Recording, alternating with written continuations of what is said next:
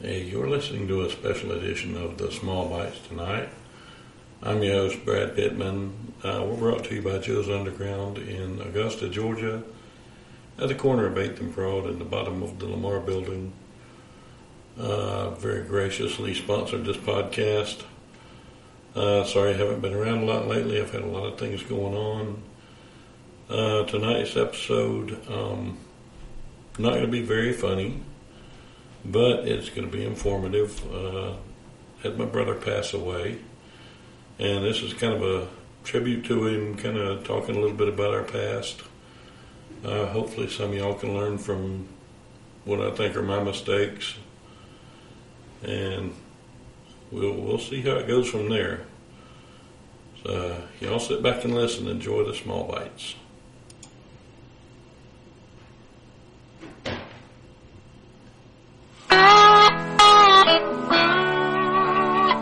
Well,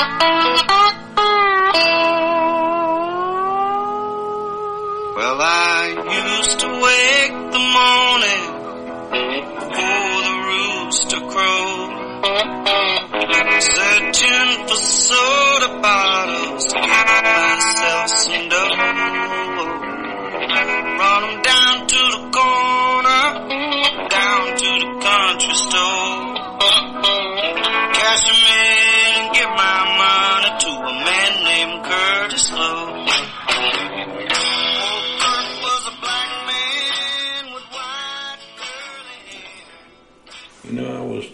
here at the house the other day and just looking on Facebook, and I got a strange message. Uh, somebody asked, "Is Robert your dad?" And I'd never heard of this person before, and the only Robert Pittman I know was my brother Andy. Uh, that was actually his first name. Uh, I kind of looked at the guy's profile and it said Covington Police Department, and I, I had an idea what was going on, so I said, "No, he's my brother." and uh, gave him my number to call. And a few minutes later, I got a call from a nice man in Covington who, you know, asked me a couple of questions about him and then let me know that he had passed. Um, me and my brother had a lot of unresolved things, and you know, some were his fault, a lot of them were mine. You know, I I can admit that. I I kind of wish that I'd gone back and fixed them, but you know, wishes, you know, they, they just don't help fix anything. So we're we're going to get past that part. Uh, give you give you some good history on my brother. This is this is going to make some people happy, and it's going to piss a lot of people off who knew him. And it is what it is. Andy never really hid anything. You know, he was who he was, good, bad, or ugly. If you loved him, you loved him. If you didn't, you didn't. Oh well, he was still going to be himself. And I don't think that he would want me to pull any punches on this because I'm going to share the good times too. You know, you, you can't know the man without knowing, you know, history. And I feel like I need to give a little bit of the history, so here we go.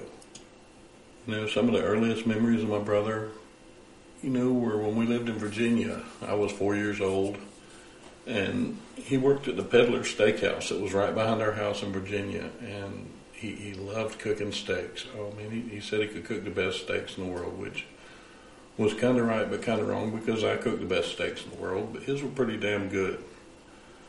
Uh, I remember going there one day, and you know, me, my mom, and my dad, and my sister, and he was cooking, and we ate, and then you know, he, he came up there and saw my dad for a minute, and I guess I saw him slip my dad something. I don't know, because I, I guess dad didn't have enough cash with him or something like that. Who knows?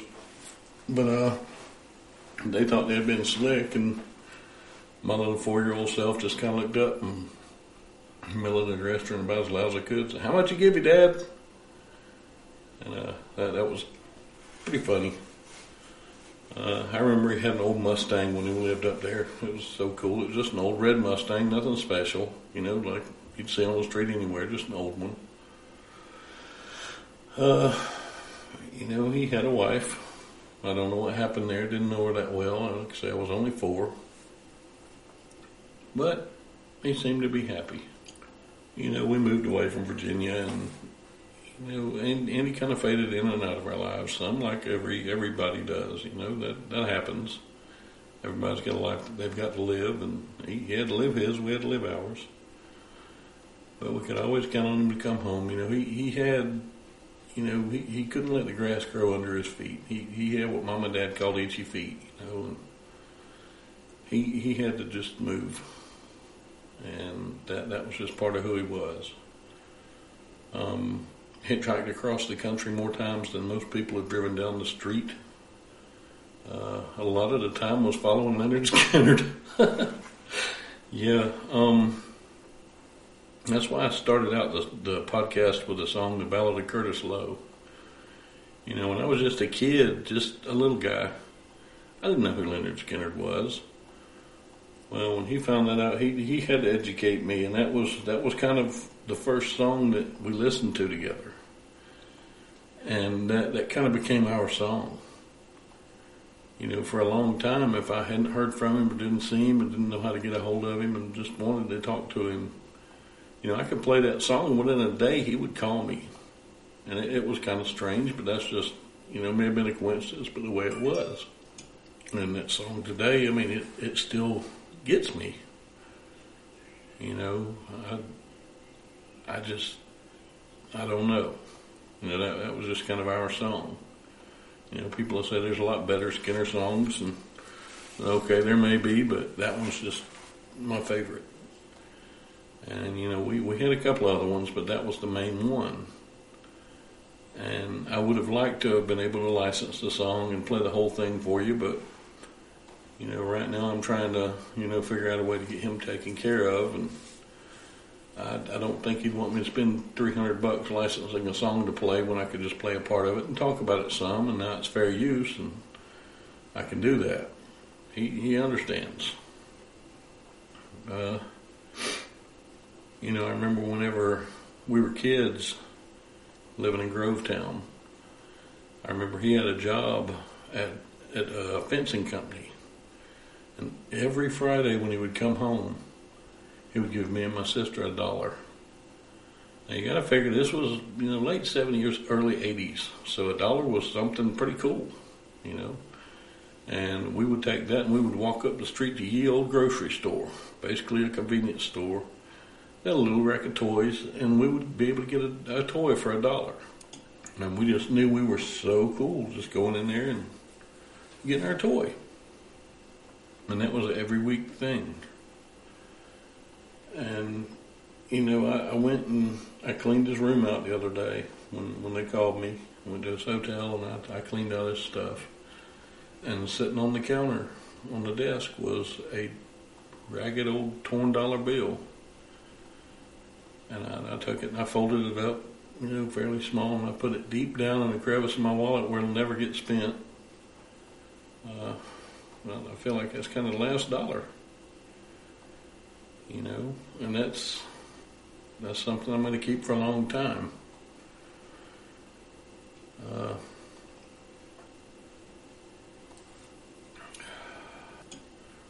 you know, we we started growing up, and you know, lives lives change. And Andy, he, he never really changed a lot. He was always just him. You know, he would do good and what we call good and stay home and have a normal job for a little while, you know, and then he would just decide, okay, it's it's time to go be me again, and he would just disappear. You know, he'd say, well, I'll see y'all later, and you know, six months later we may see him or hear from him or whatever, and that would be about it. You know, and it, it just was what it was. You know, we understood that. Uh, Mom had a way of getting him to call her. There was an old Jimmy Dean song called "I.O.U." and that was kind of their thing. It's weird, you know. Music kind of kind of called him. She could play that song. She had an old 45 record. She could play it, and that day he would call her every time without fail. It was kind of like the bat signal, and that was that was kind of strange but cool. Uh, you know, I remember when we moved to Thompson and I started getting a little bit older, you know, we we had a a hard time for a while because my dad died when I was about ten years old, and mom did did the best that she could raising us, and she did a great job with what we had. Um, and and I'll always love her for that. And you know, I remember one Christmas, you know, I was starting to get a little bit older, and my mom and my sister decided that I, I needed man things, and they scrimped and saved all year, and just they worked their asses off to to get these things, and went without some things. You know, they, they bought me a watch, a nice Seiko watch, an electric razor, things like that, things that you know a guy needs, not toys. You know, things that a man's going to need. And uh, we had a tradition every year of opening at least one present on Christmas Eve. Most of the time, it was all of them. And every year, usually, I would nag mom to let me open something before Christmas. And usually she would, but this year I just didn't for some reason. I don't know. And uh, I remember Christmas Eve. You know, Andy said, I'm going to the store, just kind of disappeared. I don't know exactly what happened. We just didn't see him.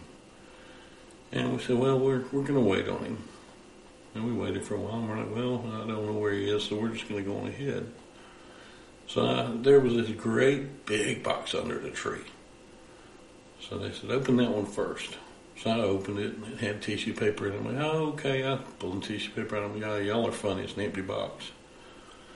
Well, my sister dove into that box and started pulling tissue paper out and freaking. So we opened all of mine, and he had taken all my stuff and unwrapped it and gotten the stuff out of it and wrapped it back just beautifully. You know, and it was probably four months before we saw him again. And you know, I don't know why I did it. I mean, it, it is what it is. He he had his demons, and I held a grudge for a long time after that.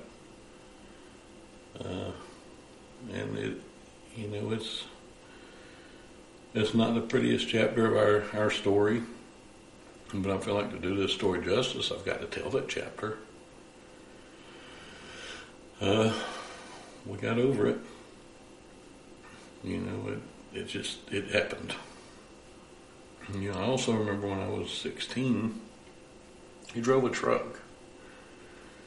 And he came through one one night, and it was beginning of summer, and they, he stopped at the truck stop. You know, we all went up there to see him because it was about a mile from the house. And he said, "Hey, I'm going to California. Do you want to go?" I said, "Sure." You know, I asked my mom, and she's like, "Yeah, you know." So we went home, and I packed me some clothes in a bag, and came up there. And I remember he had a great big. It was an emerald green flat nose Peterbilt. It was right when the anteaters were starting to come out, and everybody was making fun of him. You know, long nose Pete was the way to go, and that was a cool truck, figuratively and literally, because I don't know what he did to the air conditioner in it, but it would just about shoot icicles at you.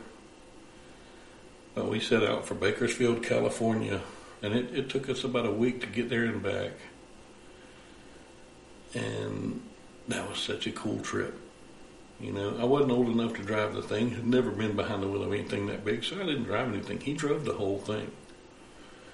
And we'd pull over and he'd tell me, okay, now wake me up at this time because I got to be on the road at this time. And by the end of the trip, I would figure out to start trying to wake him up about three hours before time to get up because that was the only way he was going to be up on time.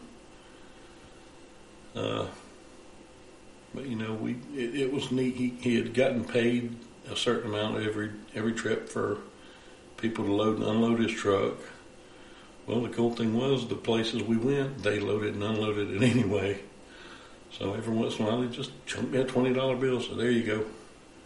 And we'd stop at truck stops, and we, we had just such a good time. Um, and it was funny. Here's the kind of kid that I was. You know, I'm, I'm 16 years old. We stopped in El Paso at a Love's truck stop.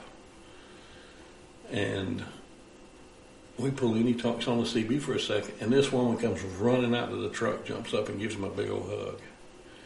And he introduces me. I'll never forget her name. It was Candy Bar. And she got up in the truck, was talking to us, and Andy said, Well, I'm going to go get some coffee.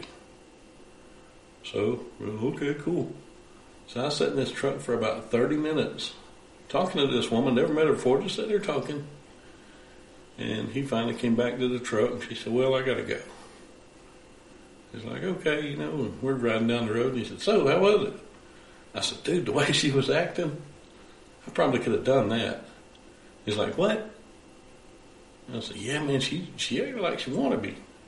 He's like, Dumbass, she did. And, uh, you know, I, I never saw the signals, never even thought about it. And that, that was the kind of kid that I was. It was hilarious. Um, but, you know, we went on to California. And we had such a good time, you know. We, we would buy, you know, fireworks where it was legal and didn't really give a shit if it was legal or not.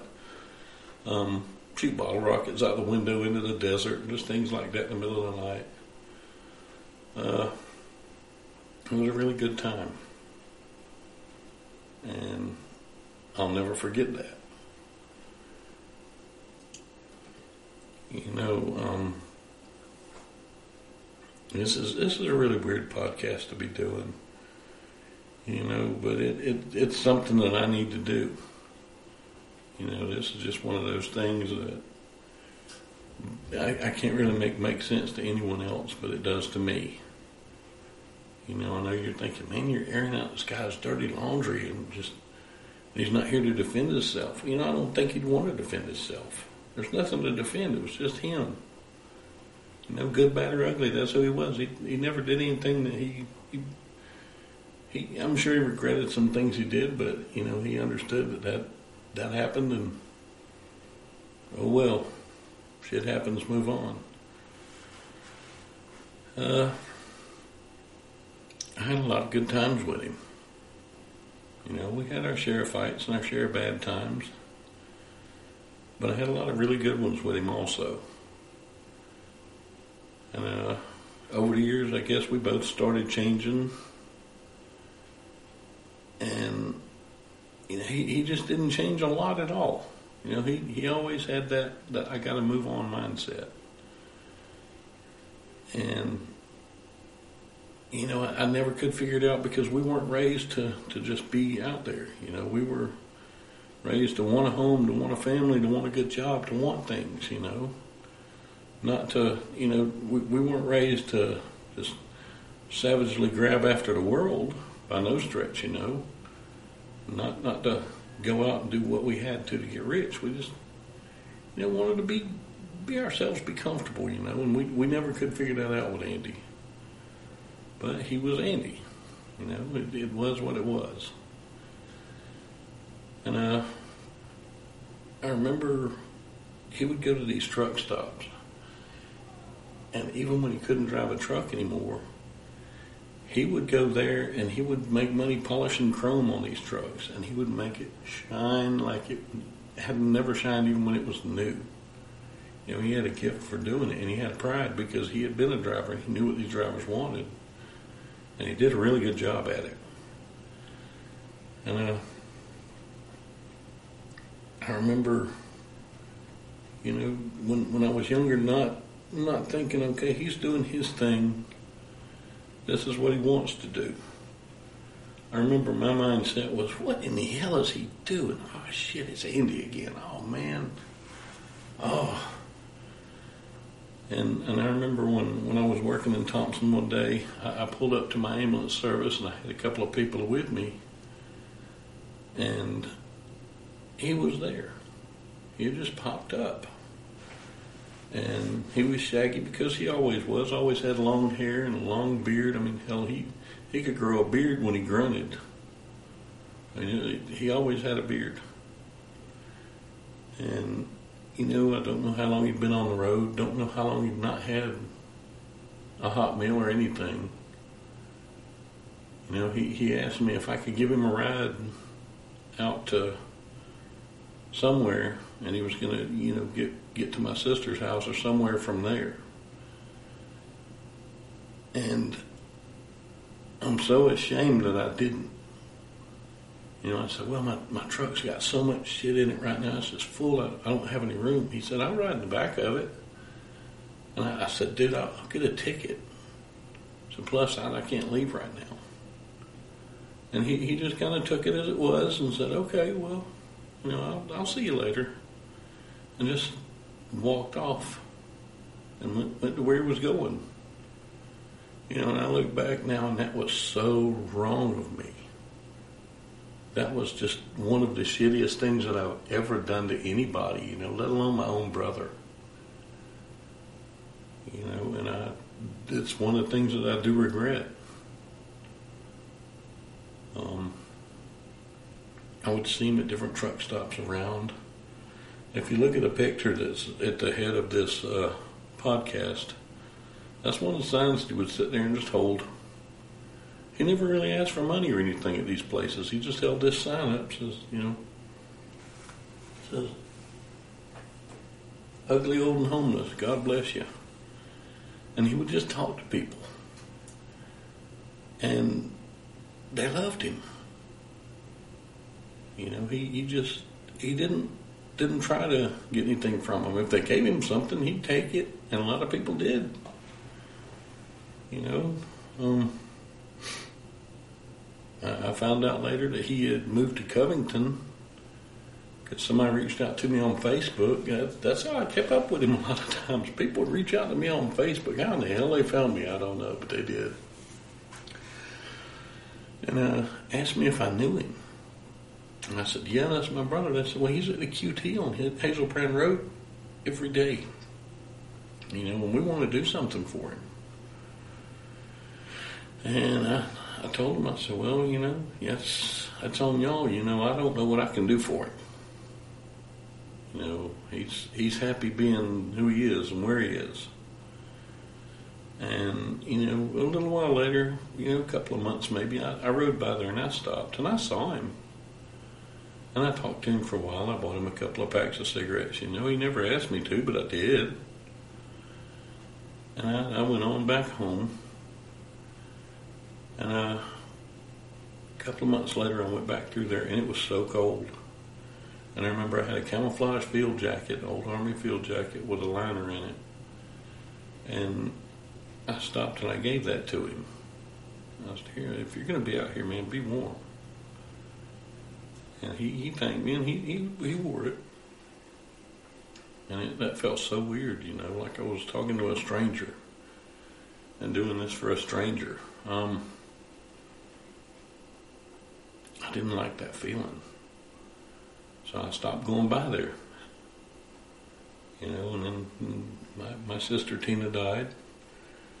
And him and my sister Susan had been talking, and he found out I was going to the funeral, and he asked if he could ride. So I said, sure. So I took him down there, and told him, I said, look, man, I, I got to go back. So he stayed down there with Susan and her husband for a while, and came, they, they brought him back next couple of days. And, you know, that's one of the last times I really talked to him much. And when I got that call the other day, it, it hit me in the gut because there was so much unresolved stuff, you know. We were brothers. You know, that's that's the ones you're supposed to stick with beyond anybody. You know, good, bad, or ugly, that's your brother. And I feel like I, I killed that little bond. You know, I, I went down there you know, I stopped on the way by my wife's work. And, you know, if she had told me to stop, I thought she was just going to come out and give me a hug and that'd be it. And she got in the car and said, come on, we're going. And she, she made me let her ride with me. So she did.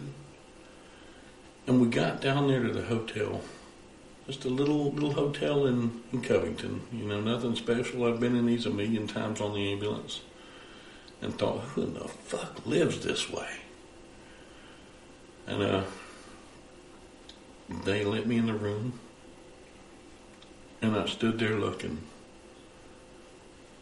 And it had that familiar smell of these same rooms that I've been in. You know, the stale smoke, the, the you name it. And I looked around and I said, This is where my brother spent his last minutes on earth. This is it. I said, I gotta go to the bathroom.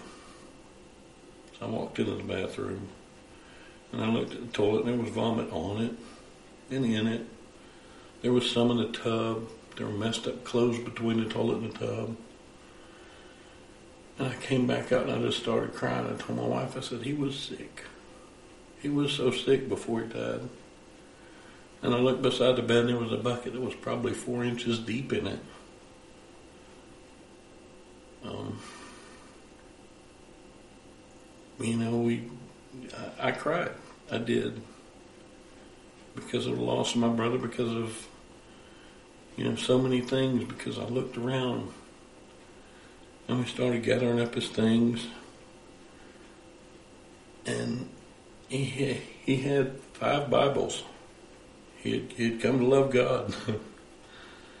um, he had some, some necklaces, you know, crosses and rosaries and all.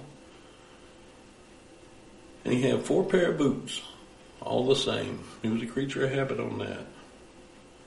He had his caps. He, he always wore a baseball hat. Um, had some papers, you know, things like that. Nothing, nothing really much. And I, I thought to myself, I said, 61 years old, and he died alone in a hotel room with nobody, and and he's got a trash bag full of dirty clothes and two backpacks, and that's that's what he left. That's all he had when he was gone, and that that ate me alive. And and one of the housekeepers came and gave me a note, and it it had her name and her husband's name and their phone numbers. And she said, Will you please call me when y'all make arrangements? We'd like to go to the funeral. And I, read the note, and it said, He was my friend. I'm so sorry for your loss. Um, and man, that hit me so much. And the manager, you know, when I went downstairs, I asked her, I said, Did he prepay anything? And she said, Baby, he ain't paid us in a month. And I said, I'll, I'll see what I can do to take care of that. She said, No, you won't. We loved him. She said, For about the last week, he's been feeling bad, and we've been checking on him. And we'd ask him, What can we get you? And all he would say is, I, I just want some milk. He always loved milk. So they made sure he had milk constantly for this last week. And she said, Someday I saw him and I asked him, I said, Could I please call 911 for you? And he said, No. And she said, I wished I would have so bad. But if he, he says I can't, then we can't do it. I said, I understand. I'm a paramedic. I, I know how this works. And uh, she said, I wish that I had, had just gone ahead and done it. Uh, you know, they, they all hugged me so hard. They, they loved him. You know, he touched all their lives. Uh, I had several people reach out to me on Facebook Messenger and tell me how much they loved him. And you know, I started thinking maybe he he didn't die alone. You know, he he didn't die die alone. He may not have had anybody in the room with him, but he did have people that loved him. And I know he was right with God. So now we've we've got him. He they, they took him and did an autopsy on him. We don't know the results yet, but I mean I'm fairly sure it was natural because he was he was in bad health, and he he didn't take really really good care of himself, which that's that's him. Um, we're trying to figure out a way to get him cremated because it, caught all of us off guard. Nobody's ready for these expenses. Nobody is. Um, I set up a GoFundMe two days ago, and we have yet to get a single donation in it. And that, that kind of kind of hurts because everybody that loved him said, "Let us know what we can do." We've let them know, and nobody's done it. Nobody's helped. I'm I'm going to try and cover what the, the GoFundMe doesn't. It's going to be tough. But we are going to get him taken care of. because we do love Him. We didn't always like each other, but we always did love each other. Now, if this story's got a moral to it, I think about the only moral that would be be the one is, you know, life don't let you hold grudges. You know, you may want to really, really, really bad. And I'm really good at holding them. Man, I can cut people off at the drop of a hat. I can cut you out of my life like a cancer with no problem at all. Gone. Never had it. And now that hurts a whole lot. And it's something I'm trying to evolve out of. You know, because you never know what can happen at drop a hat. I may not finish this podcast. Who knows? But we, we've got to got to live with our decisions in life. You know, I'm going to leave leave this podcast with another Skynyrd song. You know, I'm just going to do part of it. But this one was pretty much one of his absolute favorites.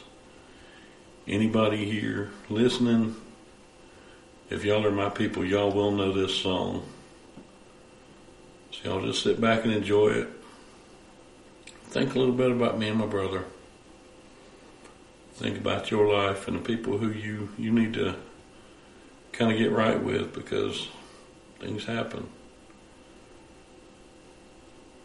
I appreciate y'all listening to me ramble. I promise you, I'll be funny again here soon. Just not feeling really funny right now. I want to thank Joe's Underground for sponsoring this, making it where I can sit here and ramble and have y'all listen to me. Y'all all have a have a good one.